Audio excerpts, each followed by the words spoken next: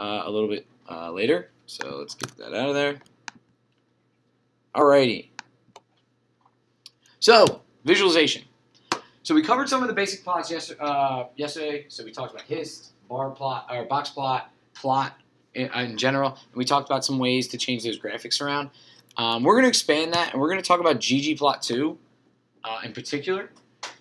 We are going to talk about some base plots, and actually towards the end, the very end of this lecture, there are other examples of how to do things in base R, but we've kind of scrapped most of that completely and went to ggplot2, which is again another Hadley Wickham package, which is again hopefully a more intuitive way to do plots. Um, the one thing I will say about it, it will give you nice-ish looking plots by default. That again does not mean they are good enough for publication. They are good enough for final plots. You still have to customize. You still have to customize. You still have to customize because I've graded homeworks, I've graded, I've looked at papers, and I can tell when someone uses defaults and didn't take more than five minutes on a plot. Their labels aren't big, their labels aren't good, their their legends are all over the place, and we'll try to make them a little bit better. So okay, we'll be using some of the um, so in a very optimistic way, we're using a death data set, right? Uh, so we'll read it in and call it death. Um, and so this is actually uh, mortality for children over a certain number of years, over a certain set of countries, actually a lot of countries. So we're going to read it in using readr again. We're going to use read underscore CSV, and you'll see the output at the top here. And so actually it's a bunch of uh, uh, child mortality data from 1760 all the way out to the projections of 2100.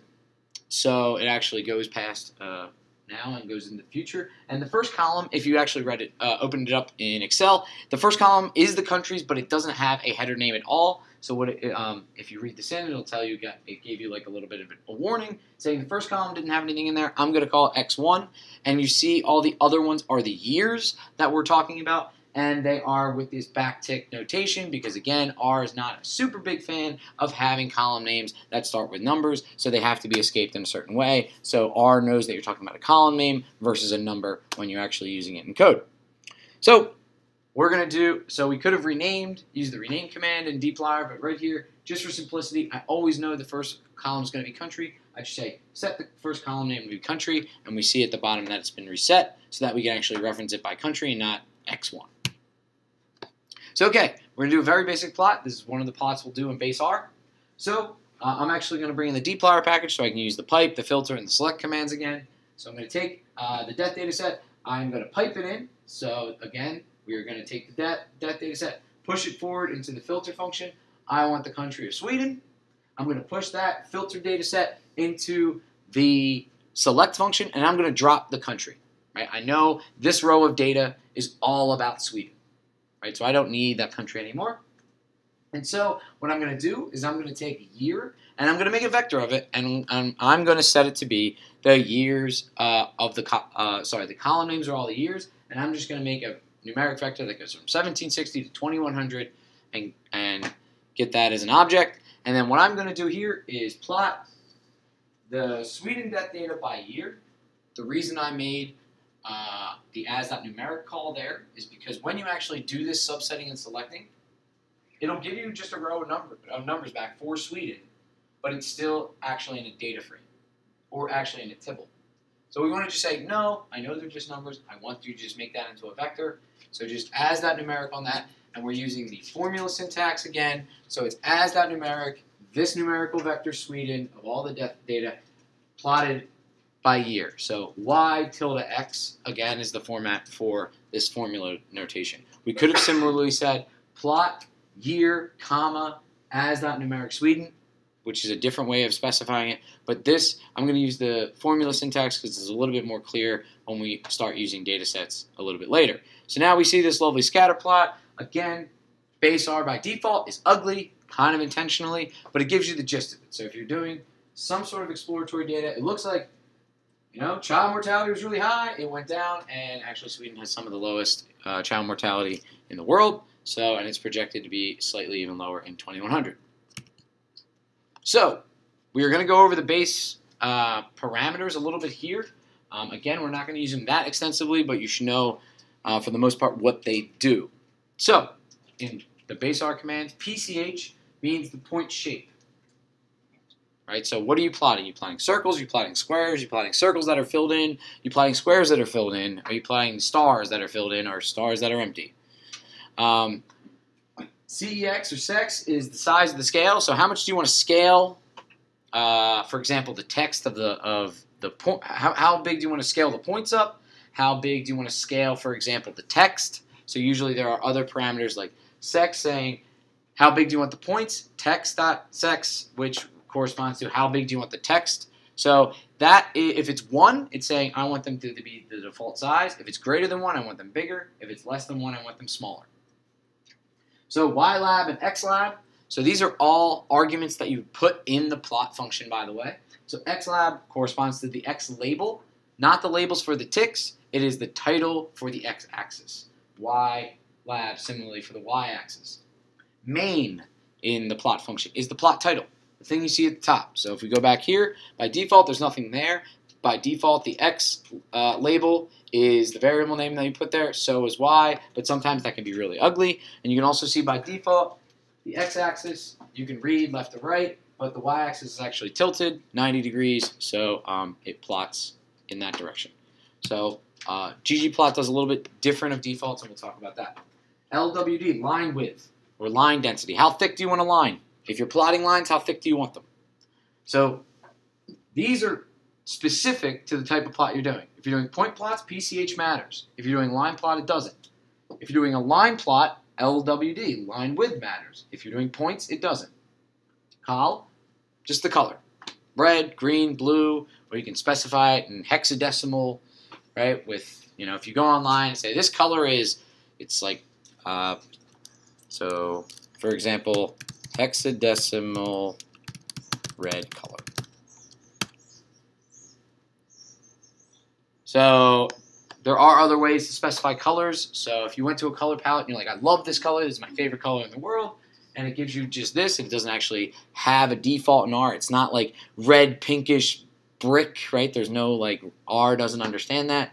If you want to copy this, you can specify that as a color. Again, sex, axis, lab, main. So if you want to scale the text of certain things, the labels or the title. So here's an example. We're going to change up the X label or the Y label. We're going to change up the main title, and we're going to say we don't want points anymore. We want lines. So type will. So if you use plot by default, most times it will do points. Uh, if you want to switch that up, you say type equals L. I want to do a line plot. So this will be a little bit more explicit when we talk about ggplot2. Uh, but for the most part, this is what you see. Again, we changed the title, we changed the axis, and everything looks the same, except its lines. So now, similarly, uh, there's an x lim. So what are, what are the limits of x that you actually want to plot? So I don't really care about data after 2012, right? That's projections in that. Maybe that's projections in the future. We could have done tw uh, 2016. Um, I want to change the style of the points. I want them to be filled in blobs. Um, I want them to be 20% bigger, and I want them to be blue. Okay? I like blue. Okay. Is anything unclear about this plot, what we're getting here? All right, great. So, um, again, there is also a subset argument, right, in the plot function. So the only difference between here and the last slide is the subset argument was used rather than xlim. Right, so xlim, we explicitly said the limits of x that we were going to plot. Here we're saying if year is less than 2015. Now note, when base R is doing stuff, it is not smart in the same way dplyr is.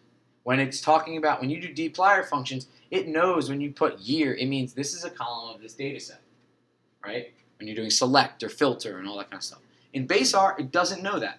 Year is just a vector that is in my memory. So these could be totally, as long as they were the same length, R wouldn't care, but these could be totally different things that you're subsetting on, right? So, like, for example, you could have said, you know, uh, where Sweden, the years where Sweden, for example, had an infant mortality below five, as long as this is the same length, that's a logical vector, it says, I'm only going to subset this data out to do it. Okay, so subset takes in a logical vector or the indices that you want to plot. Now, um, the one thing about that is, uh, so the one thing about uh, D, uh, ggplot2, for the most part, it really likes your data to be long, right? So this tidying, data wrangling ideology is, is very consistent across. So pretty much, if you have a column that you, uh, a variable that you want to plot, it better be in one of the columns of your data set. It shouldn't be this huge matrix, matrix like some of the other data we've shown you. So what we're going to do is we're going to take tidyr, right? If we want to plot stuff across time, we have to make time a column, right? We need the years as a column. We need the data associated with it in another column. Right now, it's not that. The columns are actually data, but we care about the column names. We care about those actual years, so we have to reshape it. So again, we've just gone over gather. So we're going to pull in the tidyr package. We can use gather. We're going to pull in the death data set. We're going to say the key, the thing we want to create. We're going to call that year. The value, what do we want to call that column? Deaths. Okay? And so we could have said, and then it's going to ask which columns do you want to gather up? And in this case, I want to gather everything except country. I could have written, you know, 1760, 1761, 1762, all the way up to 2100. Those are the columns I want to gather up and turn into data, but it's much easier to just say not country. So sometimes it's easier to specify the columns you do want to gather, right? In the case of the um, in the case of the circulator data, we, we said it had to start with orange, had to start with purple, for example. Um, but in this case, we said everything but this. Okay? Country is in there, so country will remain in the data set after it's gathered, but it says don't convert this into a date. Don't convert this. Don't. So you can think of it again in some respects from going wide to long. So it's saying take this data, string it out, and make it longer, and make them variables. So what happened if you hadn't said minus Let's find out.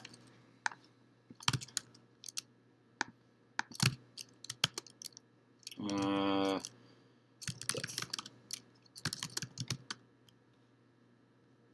uh, so, right, death is this data set. I'm going to gather it together. So let's table long year. So, it'll just say, okay, you want this as data? I'm okay with that. So one of those rows, or, or 197 of those rows say country, and the values of those, um, so head, long, long year equals country, right? But these are words, everything else is numbers, so this column is going to be what? Character. So it actually just put them all together, even though that doesn't make sense, that these rows are actual countries, the next rows are, are words, or sorry, these rows are these rows are country that are words, the next are all actual numbers that correspond to infant mortality or child mortality. It'll put it together, but it actually will do some conversion that you don't want to happen. So that's why we want to say, make sure you don't gather this one up. And so similarly with the um, Charm City Circulator data set, we didn't want another column. We didn't want a row that says like the daily ridership. That was going to stay fixed for every single day. That's why we didn't gather that column, for example. Because we knew that we wanted that to stay as a separate column because it doesn't fit in the same thing as those other columns. I mean, we could have, but uh, that's if you wanted to plot the daily ridership with other things together. That would be a possibility. So now this is different. So before Andrew said uh, is.na for date, date was never missing for any of that data. But in this case, when, for example, uh, the United King or the United States didn't have data for 1760, it'll still have a row, right? It'll just be NA. So I just so right here we're just saying we only want data in here that actually has has information about deaths. Okay, so that's all we're doing here. And just so in my when I go to do something later, if I go to plot something, I'll make sure that that's actually the data we have. All right. So now it's great. We got country in one column. We got the year. Uh, it still says the character, so it didn't it didn't necessarily convert them to numbers yet. But deaths is a double. We know that's a numeric. So um, the one big thing is year is a character still, but deaths is deaths is correct. So now again, you can plot so let's let's uh, let's just get the Sweden data. We can plot deaths on the y-axis, year on the x-axis, and data is equal to the data set we have. Now, this is a this is one of the reasons why we use the the formula syntax a little bit uh, uh, rather consistently is because now if you do it like this, where you specify the data set, it knows that these are columns in the data set.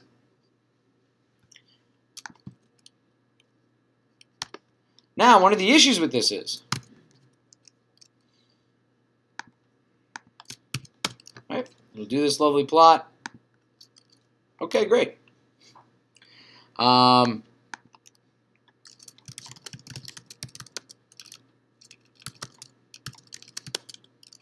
but what we probably want to do is convert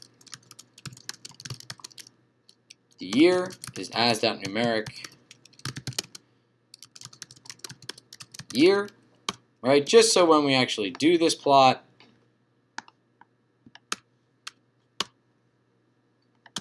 it'll keep it as year. But in this case, uh, it's okay. Every single year, every single year is actually represented here. But this is different, right? So just thinks of these as labels, right? So if, for example, we had one person, uh, if we had, let's see, let's take out all the data from 1800. Okay? Uh, one eight. Uh, year. Oh, I already changed this numeric. So let's let's read it back in. So I'm gonna read it in from the long data set, where year is still a character. It's still just a word. So I'm gonna say Swede, or I'm just gonna make a new data set. S is where Swede long, and I'm going to filter it by uh. Sorry, I'm not using the stringr versions. This is just for quickness. Year.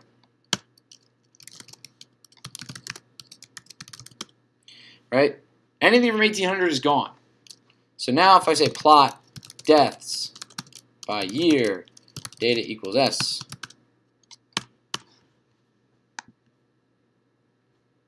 we could do we could do something like that. But all I'm saying is sometimes when it is a character, you want to be you want to be careful in convert into not keeping real numbers as characters because sometimes it can have unintended consequences.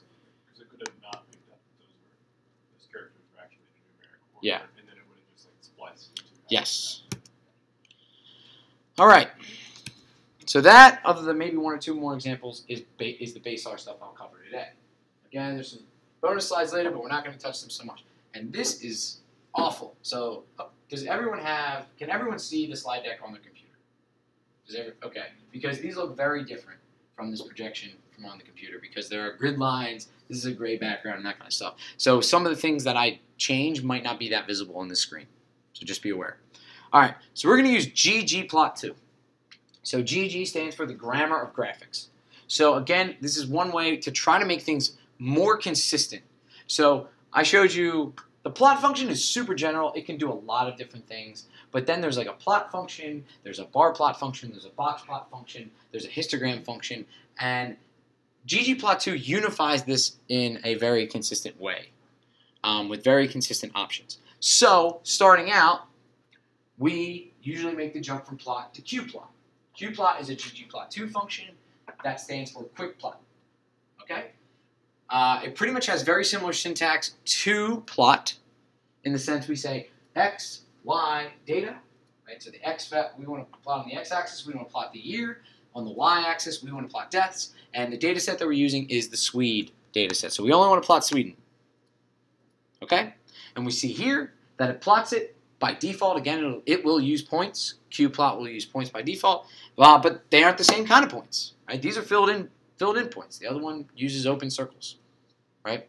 Uh, for the most part, the plot is okay. It's not super great. The axes are very, very small still. It's hard to read. I'm generally blind from the back of the room, so I think these are way small. But you do also see that the y-axis uh, is oriented a little bit differently. It's readable top to bottom. You don't have to necessarily turn your head. That's some preference for some, not the others. Um, and if you actually look on your screen, you see these black or sorry, this gray background with these white grid lines.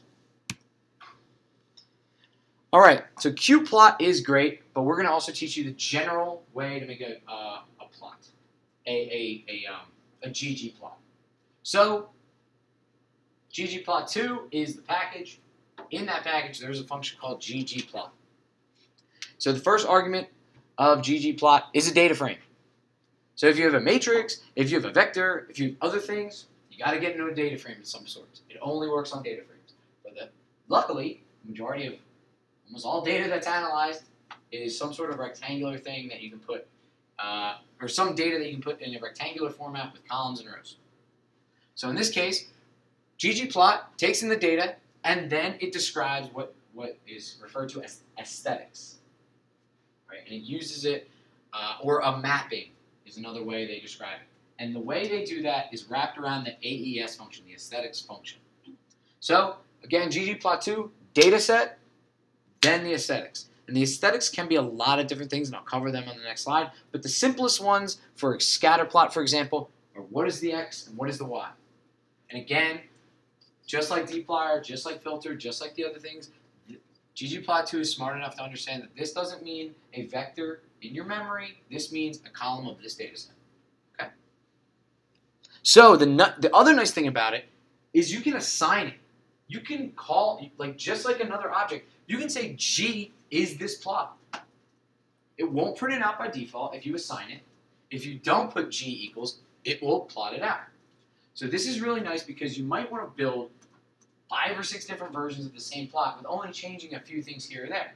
Like before, we said, oh, I want to do a point plot, I want to do a line plot. Maybe I want to do both. This makes it very easy because then you can say, I want to add lines, I want to add points. And you can save it as a different object. And the ones with lines, I'm going to add a whole bunch of stuff here, but the one with points, I don't want to add all that stuff. So it actually allows you to save objects. So now, by default, ggplot compared to qplot will not do anything. This just sets it up. This just sets up a plot. It just says, okay, I know this is on the x, I know this is on the y. I don't know if you want points, I don't know if you want lines, and I'm not assuming anything. So the way you do that is you add geoms, and we'll talk about them in a second, but I'm going to go to the most commonly used aesthetics. So x, what do you want on the x-axis? Y, what do you want on the y-axis? Color, spelled whatever way you like to spell color. So, and this is different. So again, they call it a mapping or is this aesthetic because these generally get mapped to data points. So color, you can color the points by another variable, for example. You can also globally set the color to like red. So you can do that separately, but it's different the way you do it. Also, the size. So instead of PCH, right, it's just, what do you want the size to be? Do you want the size to be mapped like population density or something like that? That would be an example where you map size to a variable. Fill. So um, depending on the object you put in there, so uh, for example, a histogram, the bars, you can fill them in by a different variable. Uh, so fill and color are similar, but they're not the same thing. So different, um, they mean different things for different objects, for different, um, I'll call geoms, and I'll get to that exactly in a minute. So shape. Let's say you want men to be stars and women to be squares or something like that. You can map shape to, for example, a gender variable or another variable. So again, you set these in AES, right? Always inside there if you want it mapped to a variable. If you want them set for all values, for example, I want every color to be red, you'll set them inside what's called a geom. So, again, when we said G equals this ggplot thing, we got the setup. We don't have any points on it. We don't have any layers. We haven't added anything to the plot. It's just a blank canvas, more or less now. So the way we add it is we actually use the plus sign and we add geoms. So the most common ones I, I believe, uh, the ones I use most most commonly, geom point. I want points. So if I add, say, g plus the geom point, we have a scatter plot. Geom line. I don't want points, I want lines. Geom density. I want to add a density plot. So I want to do a smooth histogram of the data. Right? Histogram, geom histogram. I want to do a histogram. Smooth, so sometimes you do a scatter plot and you want to put a smoother through it. Right? So you want to see what is the overall shape of this data. Right? I don't want to fit a model necessarily. I want to see the data kind of inform itself and say, what does it kind of look like? So, for example, a LOESS smoother, right, which is more or less a moving window that takes averages of the points as you go along the x-axis. That's one of the smoothers that you can use. We'll get to that. So, box plots. I want to make box plots, right? Either the x or the y-axis. Geom bar, bar plots, geom tile. I want to add little squares for the x and the y, and I want to fill them by some other variable usually. And so this is very similar to heat maps, and we'll talk about one of those. So again, G is our blank canvas. It just says this is x, this is y. So we're going to say G points. So we're going to make a whole new, we're going to assign that plot to some object. I'm going to say G plus. So this is different. We piped with data, but GG plot 2, you literally add things. Literally with the plus symbol. Right? So you add a point, they call it a geom or a layer. So you're actually adding the points to the canvas. Right? And so this is the syntax here. We already know what x is, what, what is the x variable, what is the y, y variable from this object. And then the only reason the only reason I put a semicolon here is in R you can end the line with a semicolon and write other other commands on one line. The literal only reason I'm doing that is so this doesn't run off the bottom of the slide. Okay, so don't worry about these putting together. But by default, if I just do this, nothing's going to get printed. So like every other thing we had in R, right? Well, the first day, if we just wrote X, it'll by default print, or you can explicitly say print this plot. All right, so before moving on to flashier and funnier or better plots and that kind of stuff, does this operation make sense? We set the canvas, we set what data set we're using, we set what variables we want to plot, and then we add the geometry. So if you, so I just play with this. So if you plot G It's just the axes, right? Just a blank canvas. It just sets that up. Um, exactly. So Yep. Before you write that command of g points equals uh, rest, um, you have the previous command that you define what g is. Yes. So that so I could I could have done the exact same thing by saying instead of using G, saying G points equals ggplot parentheses dataset comma AES. So it's just allowing you to store it, just like you like for example when you use x equals some complicated formula and then you say x plus y, it remembers what x is, and it's exactly the same thing as if you wrote the whole definition of x for the placeholder. So it, it treats it simply like a variable. The only difference is when you just write the letter G, its print function for that type of object, for that thing, is to actually plot it. You have to run those two together at the same time, or will it still remember? So you, c- as long as G is in your workspace, as long as G is in memory, it's fine. There are some weird issues when you potentially uh, delete the data set from memory. So the data set from memory. So like if you save this out to an RDA file, which again is like the R data files, right? If you save G out and then loaded it back up, but that data set was in wasn't in memory, then some weird stuff can happen. But for the most part, if you ran G equals this and then this line right after, you're fine. So, I don't want points, I want lines. Right? So I didn't have to copy and paste the whole command again with X's and Y and then say type equals L like I would with the base functions. I said, I already know I got X and Y fixed. I know that. I like those. I just want a line instead of a points. Be like, you know what? That's not the best way to do it. So this is a little bit, for me, a easier way to kind of explicitly say what I want to do, right? Type equals L is not necessarily that um, explicit. Geom line, geom point is a little bit more. And then building a fully layered plot is re- relatively straightforward. Say, I want to add lines, and then I want to add points. Sometimes the order will matter because it will add layers to the plot, just like if you were putting, you know, transparencies on top of each other, right? It'll add in the order in which you give it. So if you put something like a big circle right here, and then another plot that put a big circle over here, it'll mask it out depending on how you're plotting it. So it's just saying whatever came first will be, or whatever came last will be on top. Okay? Is this clear? So, I love smoothers. Um, so what this will do is it, this will add a line plot, and this will add a smoother. So if you have a small number of points, generally what you, what it does is what's called a LOESS smoother, which is a rather simple smoother that again takes a window, takes all these points, takes the average, moves the window a little bit, takes an average, moves the little, and so on and so forth. By default, however, um, in geom smooth, and we're going to look at the help file in a second,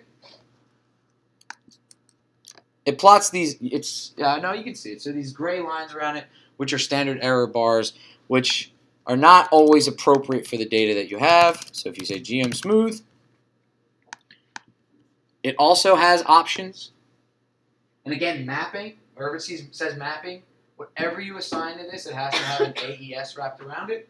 But there's a whole bunch of stuff here saying like the data, the stat is a smooth, position, identity. More or less, a lot of this stuff you may not have to change around, but the SE equals true. Do you want to plot that standard error around it? Most of the time, I set that to equal to false. So if I go back up here, let's get where we're Let's clear this out. And if you're running it interactively, Geom Smooth using method equals LOESS. When you start to get a lot, a lot of data, like thousands and thousands of points, it will do different smoothers for speed. Because taking that average over and over again, I'll, I'll, I'll put that code back up in a second, but this you see doesn't have those gray lines there that say that's the standard error, and all you have to do is set, set that argument s equals to false. So they're not, they're just the function still. So you can look up the arguments, change the arguments as you want. Just they do have this weird added layer of this aesthetic mapping.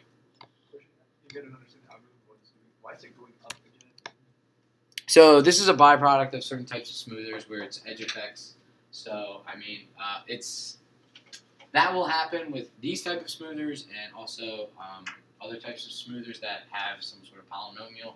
But more or less, it, it does some weighting, and the points get weighted. So good general So statistical like- thing.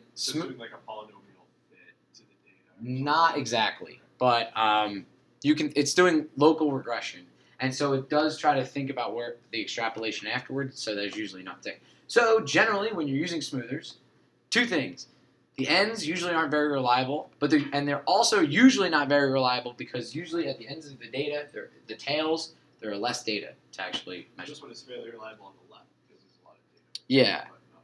Yes, because um, the the standard error actually when we do plot this, we do see it's getting wider, um, and that is because we might not have good projections, for example, for every country, right? So this so this standard error tries to give you a rough estimate as to how much data is there.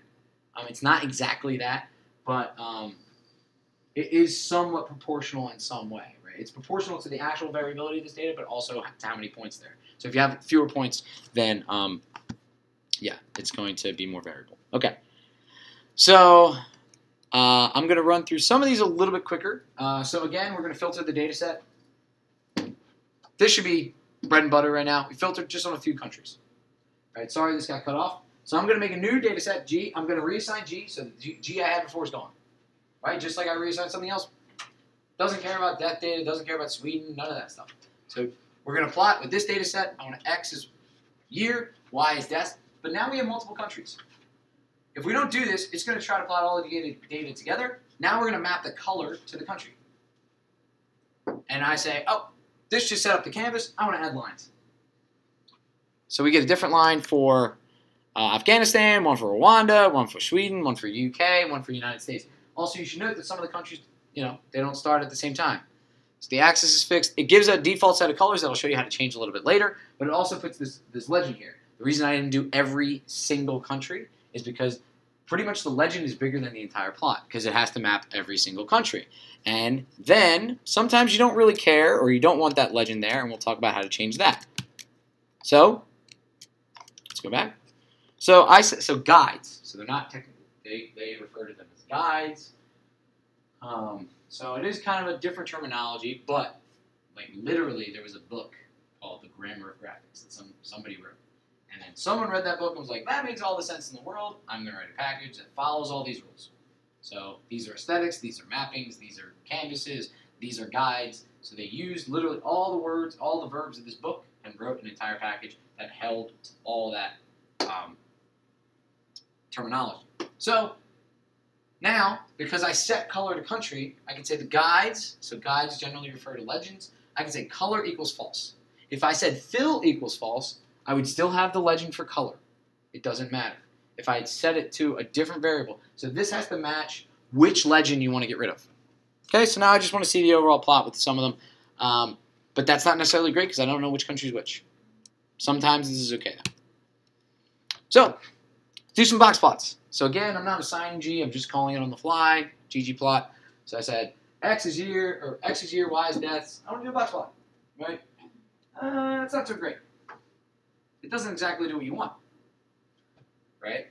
So, uh, that depends on somewhat of the aesthetics, some and also how year is encoded, how year is mapped. So we don't want this. We actually want a box plot for each year as a separate category, right?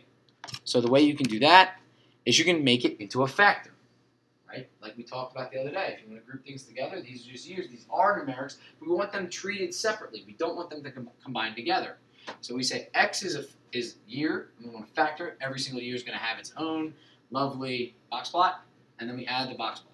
So I don't know if this is a good or bad graphic. It depends on what you're trying to see. But for example, if we're looking at the median, we overall see that the median child mortality goes down. Um, we see the data back here is highly variable, and actually the data we have from this data set have much lower uh, child mortality. So probably they are they are the countries which much with much longer bookkeeping, and so if you're just looking at the data back here, you're probably getting some bias compared to the rest of the countries. Is this clear? This command. Great. All right. So geom jitter. So sometimes you don't want to plot points because if you plot points via categories based on certain categories, they plot one on top of each other. That's not great. Sometimes you want to jitter them up so you can see the spread. So now I'm just subsetting a few set of years, 95 to 2000, 2000 inclusive, right? So I'm saying these five countries, right? So I'm still, or sorry, these are all the countries, right? So I'm still using all the data set. I want to do a, box plot for each year. And so I'm saying, all right, put in this data set. I want to factor year, so I want a separate box plot per year. Y is deaths. Geom box plot. Outlier shape. So normally, box and whisker plots, you put you put the max, the min as whiskers, 75th, 25th percentile as lines, the median as a line, and a box around it. And if you have outliers, you put them as points. If the max or the min or something, you know, so there are rules, right? So if the median plus 1.5 times the width of the box, that's called an outlier, just by the default from Tukey from like 70 years ago. That's what that's this general rule that we've kept because tradition and whatever. Um, but I'm already going to plot the points later, so I don't need you to plot the outlier points for me in, in box plot, which it will do by default. Okay, so it'll automatically plot the outliers like it did in this plot. But you see points down here; these are outliers. I don't need you to plot them. I'm going to plot my own points. All right, get off me. So, we have outlier shape. We can call that NA. So just say missing. I don't want it to put anything. There is no shape for those. Delete them. And then I'm going to add geom jitter. So I want to add points, but I want them jittered. Right? I want them moved around a, li- a little bit from their spots. Right? But I don't want them to jitter on the y-axis. I don't need you to move them up and down. Up and down is fine. I need you to move them left and right. So I want to set the height of the jitter to zero. So I don't want you to move them up and down. Width will be will be set by default, and I'll say, okay, we'll move it around. So this gives you an idea of the box plot also with the data. Now, if I switch these up, right, you're going to see the full box plot here. All those points there are going to be masked out because of the order in which we did it. Okay? Box plot would sit on top. Yes. So let's. Not a transparent element. No, you can do that, but you can do that, but that takes a little bit more code.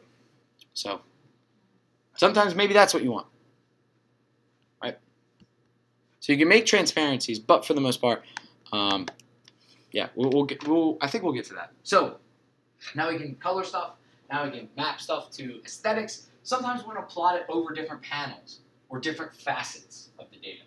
So instead of plotting each one of these as a separate color, right? So we just got same stuff here, sub, pipe it in here, geom line, everything up here should be bread and butter right now with respect to ggplot2. The only thing we're adding is facets. So you add a facet underscore wrap, and the syntax is a little different. You want, so it's the tilde, it's this formula syntax, and I want to do it over country. Okay?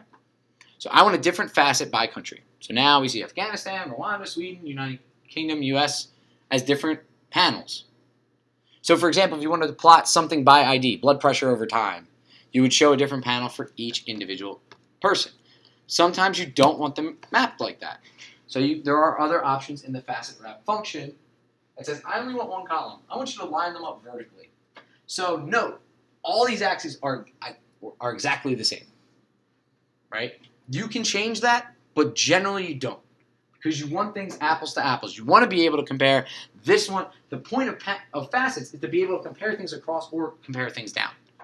And in this case, I don't necessarily want to compare things across because I don't want to see maybe that maybe that relationship. I want to see what the trends are over time, and I want the, I want the y-axis, the years, to line up.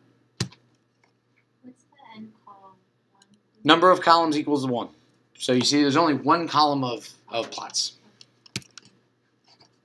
Okay, uh, this is an actual plot, but I'm just saying if you wanted more than one facet, so you can do by, so let's say the countries were grouped by like area, uh, let's say a continent, for example, you can add more things in the facets to do different types of paneling, different types of faceting. So you can say, you could do it by you know, continent and then by country or something like that, which would facet them out a little bit differently. And it doesn't have to have one line per facet. So if we had continent and just used tilde continent, we would have all the lines for the countries in that continent. And we should and we should probably also color them differently. So we would app map color to country, for example. All right, so let's let's make things better. Right, so they're small. Um, that's generally good for uh, longitudinal, or sorry, for exploratory data. Not necessarily that great when you're trying to make plots for collaborator or people want colors or titles or whatever. So XLab, YLab, they're the same things as, as in regular plot, but these are now functions that you add. So we have this fun thing, Y. Right, I'm going to beat this, beat this down over and over again. Q, we're using qplot here just for short shorthand. You could have used, I you normally use ggplot, but again, qplot. You just say year, deaths, color, data, and then you specify the geom in this way in qplot. Again, by default it'll do points, but if you want to change the geometry around, you just say geom equals. This is you could have also taken this out and said plus geom line. Okay, now you add in the xlab, right? So that's a function. We're saying the x labels this, the y labels this. GG title, there is a title function in R. That's why it's not called title. GG title, I want to change the title to this and the subtitle to that. Okay? So X lab, Y lab, GG title. So, um, some people don't like the, the defaults in ggplot2, so there are a large, I would say a decently large set of themes, right, that control the more or less the global aspects of the plot. So like, is there a black background? Is there a white background? How big are the how big are the lines? How big are the axes? How big are the titles?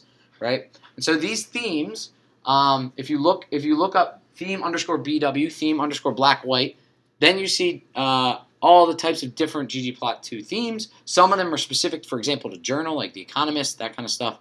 Um, so there are different themes for different uh, scenarios. You can find one you like and use that, and all you have to do is say plus the theme and it'll change everything. So again, it's not easy to see, but there are different. It's the background is different here. It's black and white. It's not having a gray background. Okay. Generally background. That changes whatever that is. Ch- that changes whatever elements that theme had to happen so to change. theme has a certain set of colors that it uses for the lines in a certain order or something like that. Yes, I believe generally though the theme is about the canvas and the axes, not necessarily about coloring the plots, because you set that usually in the, in the aesthetics. So theme itself is a way to change those things in a way that you want. So you say, oh, I like the black and white theme for this, this, and this, but I actually don't like this element, that element. I want to change those specifically. So theme is a general uh, is a general way to just change the things within your ggplot. So um, it is a little bit confusing uh, how to use it, but one, uh, some of the things I'll show you three or four examples of the things I almost always change. One of them is text size. Text is too small. Text is too small.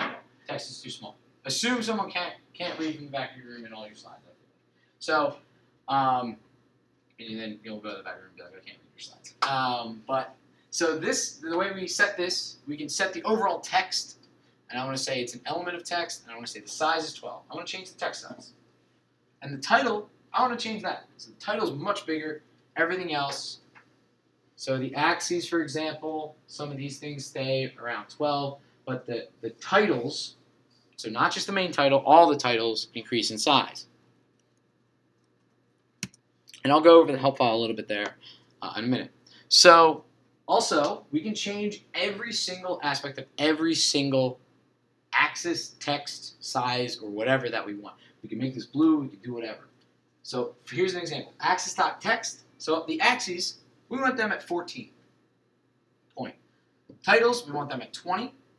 Axis titles, so these two, the axis titles, not the overall global title, not the title of the plot. Specifically, if we didn't set this, the axis titles would default to 20. Because this is like just all titles. This is like, no, I just want this axis title to be 16. Change just these. Keep that 20. You're good. And then I want to change where the legend is. I am uh, of the camp that legend should be within the plot. Um, and so uh, I moved it, and it's a relative set of axes, so x and y, you, you specify the position by the x coordinate and the y coordinate relative to 100 to 0 to 100%, 0 to 100%. Okay, so that's why it's 0.9, so it's go 0.9 to the right and go up 0.8 and then start the legend there. Okay? And before, just I'm going to jump back one second. I didn't like that little c. That little c was because the variable's name's uh, country. That's actually a nice variable name. But when it's like C underscore mort underscore tality underscore five, that's not that's generally not that pretty. So I want to reset the title name, uh, the title of the legend to something a little bit different.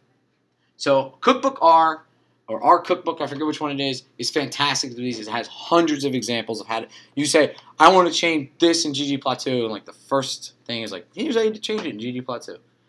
Um, okay. Sorry, what's the last line saying again? Q, I get the this line? yeah. No, So, no, sorry. this. Yeah. So this is just printing it, but this is saying for the legends. Yeah. So the color legend, the legend for color. So in this case, color is mapped to country. So I want to change something about the title of it. ah, okay. So I want to change the title to be a capital C for country. Okay. So one I actually use a lot. This is something I wrote. Uh, you don't necessarily have to know exactly what it does, but more or less it makes a transparent legend. So it says the background is transparent, the keys background are transparent, and then I just add this to plot so you can actually see the data if there is any in the background. It makes it translucent. Whereas here, if you actually look here, it's, it's hard, again, impossible to see on this projector, but there is a big white box around here, and each one of these has a specific white box around it. Um, so that just changes both of those boxes to be fully transparent so that you can see anything in the background if there was data. Okay. All right, histograms. Again, we talked about hist. You can change the breaks of them if you want to see them more uh, elucidated out, right? So again, it's base R, so you have to do, you know, usually, you know, some referencing. You have to pass it a vector. You can't use the the. It doesn't know which data set you're looking from. So let's so let's look at so sorry right here we're looking at just a histogram of all deaths over all time for all countries. Or actually for those four countries that we five countries that we subsetted. Okay. So we can do histograms again. So geom equals histogram. We're again using qplot, uh, and we're filling it. So color has a different connotation for a histogram. It is not the same thing that you think. It's actually the color of the outlines of the boxes. That's generally not what you want to change. You want to change what color is filled in. And so now we can say, okay, I want factor over country. Um, I don't believe we actually had to factor it because country specifically was a character, but Um, so it's a quick plot. We want to do the histogram, and this is looking at over all years for each one of them the density of the number of deaths. Okay, actually the counts. So you put the C around histogram you you don't. Uh, so if, if it's just one single, so if you want to do multiple geom- geometries, you'd say C line, comma points, comma whatever. So you can actually do multiple one of them, multiple geoms in qplot by just saying passing a vector rather than a single uh, geom. And when it's just when it's just one thing, you don't have to put C around. So uh, sometimes you know they're overplotted on each other, and it doesn't always look so good. If you have a lot of overplotting, you want to use well, what's called alpha blending or opacity. So uh, that is just another one of the arguments um, where you say alpha equals 0.7. So alpha equals 0.7, saying I want everything to have you know 70% translucent translucence. You could also again map alpha to a variable. So you're saying like if things are really, really, really like if a large population, they're really dark. Otherwise, if it's a small population, it might be lighter or more translucent. So similarly with histograms, we're doing the same thing. We're doing densities, right? So densities are scaled a little bit differently, but again, the x is on the deaths are on the x-axis. Some measure of the distributions on the y-axis, and we're doing it over country. Same exact code. The only difference is we said alpha equals to 0.7. This is kind of a byproduct that we don't necessarily like. Uh, there are ways to get around that, but I'm not going to talk about those right now. But it's saying I want them to be 70% opaque so we can actually see the distributions behind each other. Otherwise, they'd just be all pl- plotted on top of each other. Okay? Another way to do that is if we set the aesthetic to color rather than fill. So before we said fill equals country, here we say color equals country. So it just colors the lines correspondingly to each separate country versus filling them all in, and that might be an easier way to do it. Uh, I kind of hate these. I hate the. I hate. I don't hate these plots specifically, but I hate that they have these connecting lines at the bottom. Uh, that just annoys me. Uh, so there are ways to get around that. So you say the same thing that we had before: the color, the data, and you actually say, I want lines, but the statistic that we're doing is not don't plot the data, plot the density. So again, you don't have to know exactly what's going on here for the most part, but if you ever want to say, how, do you get rid of those lines, this is the way to do it. Okay, so this is the exact same plot, just without the connectors at the bottom, right, as I flip back and forth. Except we actually did some alpha blending. We did set alpha here, but that's not as relevant because you're not having so much overplotting. All right, so spaghetti plots. Here's a terrible one, right? Um, so this is plotting all the countries separated by different colors for the mortality over time shown by lines. And again, if I don't put this here, it's going to be literally just a huge legend that just says like U- UK is green, US is blue, so on and so forth. Um, so we probably definitely want to put some alpha blending on here. But this is kind, this is one way to show a spaghetti plot is if you color it by, by a factor, and then it'll plot each one each line by that factor. So uh, sometimes if you if you're also doing uh, a whole lot of longitudinal data, for example, you want to do tiles. So or heat maps, for example. So here we still have time on the x-axis. We have different countries on the y-axis now and each one of these little rectangles is filled in by some measure of child mortality. Okay, so you can see Sweden, the UK, the US have generally low. These have a lot higher from 95 from 1990 to 2005. And again, similarly like uh, G, uh, the regular plot function, you can use xlim, but it is a function now versus an argument in the function. Okay? So sometimes we don't like the colors that are defaulted, so there are a whole different way, a whole set of ways to do that. Um, in this case, I want to say I want to scale the scale, right? So the scale for the for the fill, I want to map it. So the way depths is mapped in, I want to actually use a gradient that goes low is blue, uh, high is red, right? Before it uses whatever the default was, which pretty much is black is low, light blue is high. So we can change that. Again, we're just adding to the last slide, so everything before was already run. So we're saying, I want to fill for the fill aesthetic. I want to scale that. I want to change the scale, the scaling on the color bar, and I want to use a gradient from low to high, from blue to red. And there are ways to change the breaks? There are ways to change the breaks as well in, the, in that function. So you can do that, or you can make your own breaks. So this is one way we did it. So we're using the cut function like we did before. And we said, all right, I want to I want to cut deaths. I want to say from 0, 1, 2, and then the max. Right. So now we're making a factor. So now Q plot, we're saying again the year, is, uh, X is the year, Y is the country. Fill is now this category, this categorical, um, to, or discrete variable that we're using, right? It's not continuous anymore from zero to the maximum. It's now cut into different factors, and the data is still a sub. We want to do tile, color equals false. And now the colors correspond to the categories.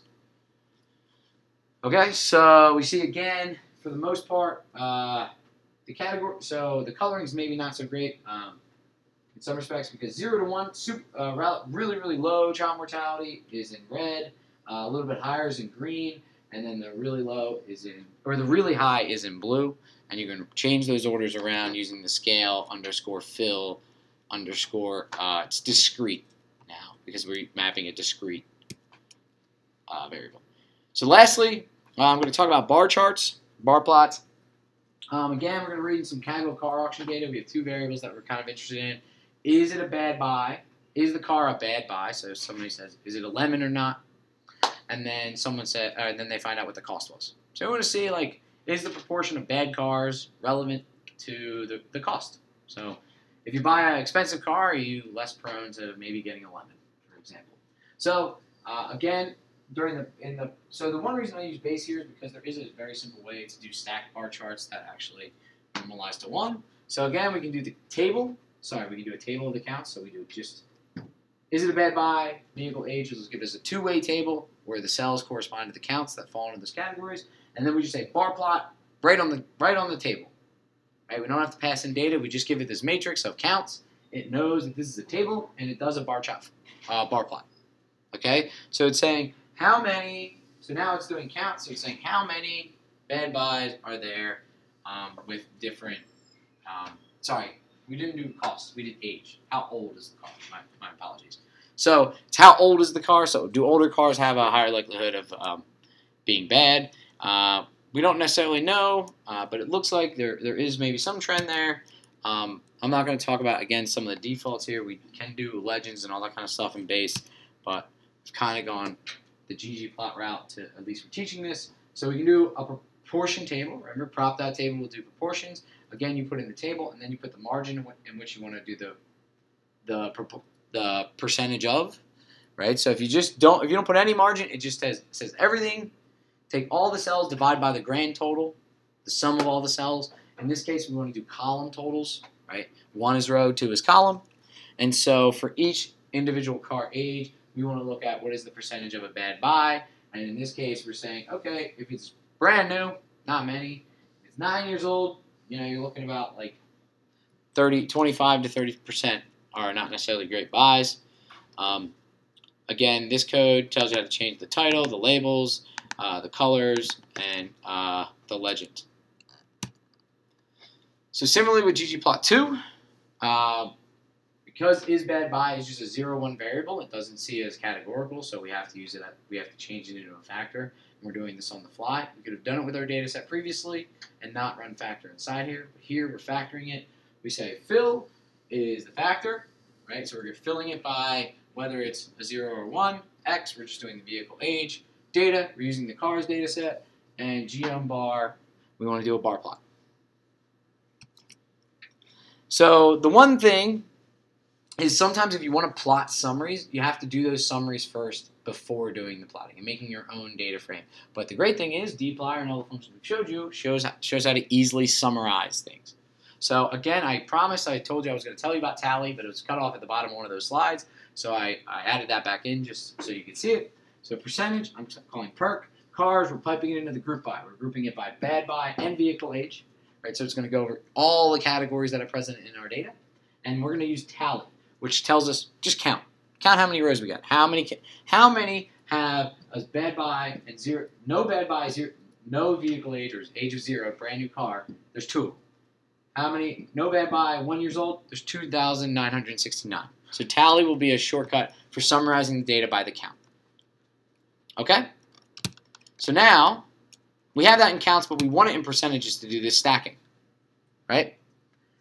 So we're gonna make a new data set perk, and we're gonna pipe it in. We're gonna group it by vehicle age, and we're gonna uh, mutate and say n is divided by the sum. So every single every single vehicle age separately, it's gonna take how many bad buys, how many not bad buys, and do the numbers divided by the total, right? So it gives us a percentage of bad buys for each year.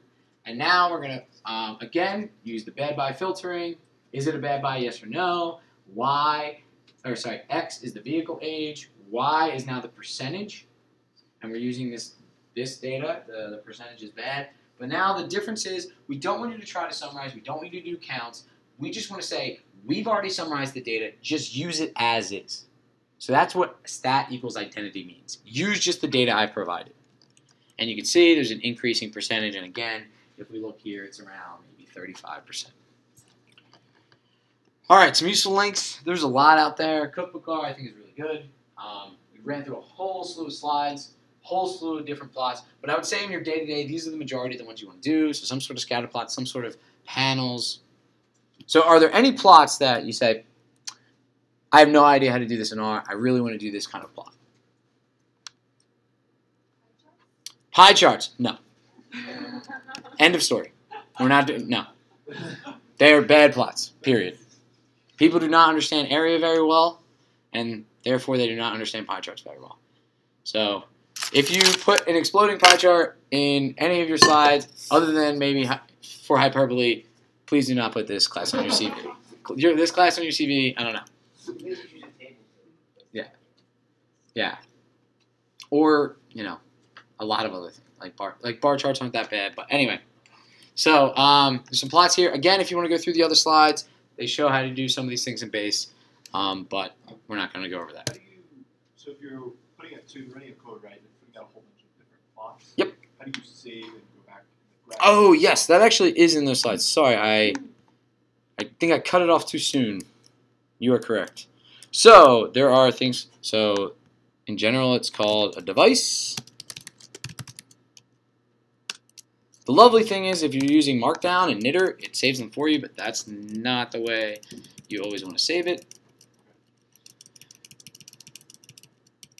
There. Okay. just like pastes Yeah. it in every time you get one. Um, sometimes it will save it if you wanted to. So okay, great question.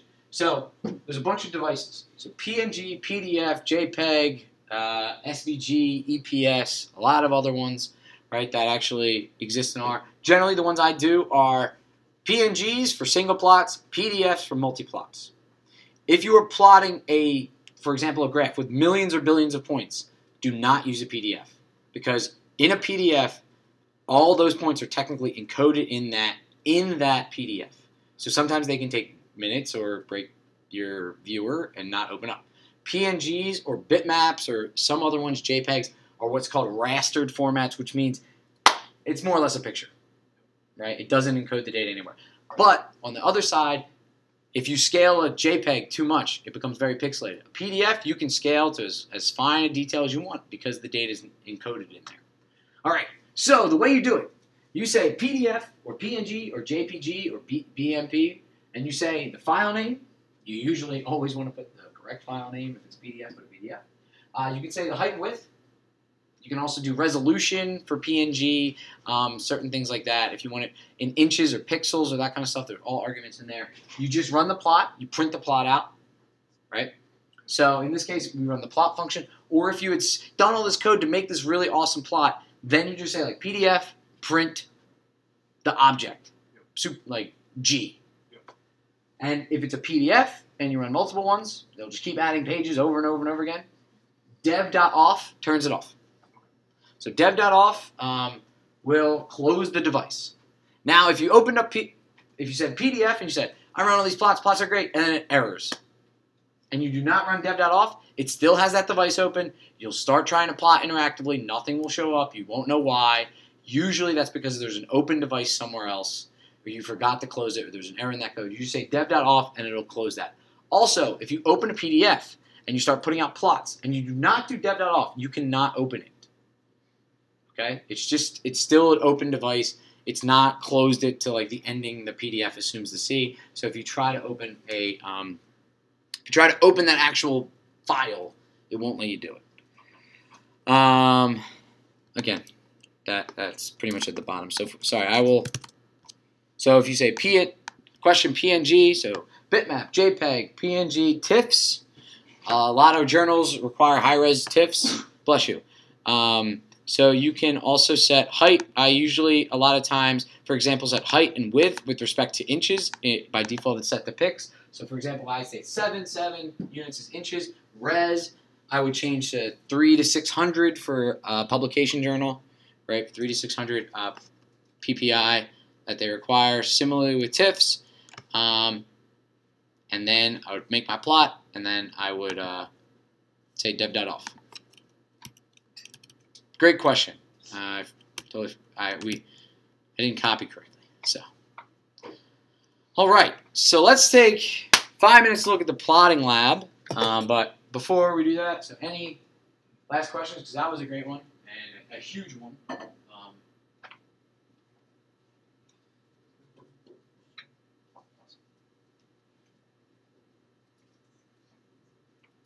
There are other things like geom text, for example, if you want to add text to a plot. This is also very important, uh, very relevant if you make multi-panel figure or a multiple multi-panel figure for a journal, for example. You want to put A in the bottom, panel A, B in the bottom, for example. Um, yeah. Are there packages or something you need to do that? Ggplot2 or PDF? not PDF. No, PDF comes with base. So if you say PDF, Yeah, my viewer. Do you put uh, sorry so do you, you put pdf and you put a file name. So awesome plot. Dot pdf and then you did let's say let's copy one of these. Uh, let's plot let's copy the oh we're uh, sub year. There we go. Okay let's uh, geom jitter. Where was that code? So if I run this dev.off you, you close the device and then you try you look for awesome.plot.pdf uh, Yeah, my viewer says it can't be so do it again. Uh, do it again like close do dev.off a few times until it says you're out of devices and then run it again and then see if it opens. So uh, usually again that's because of an open device or something like that so now we got this on our hard disk as a pdf